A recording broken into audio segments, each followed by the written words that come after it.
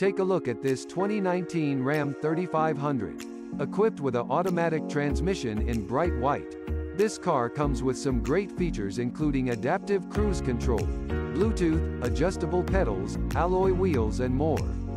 Come in and check it out today.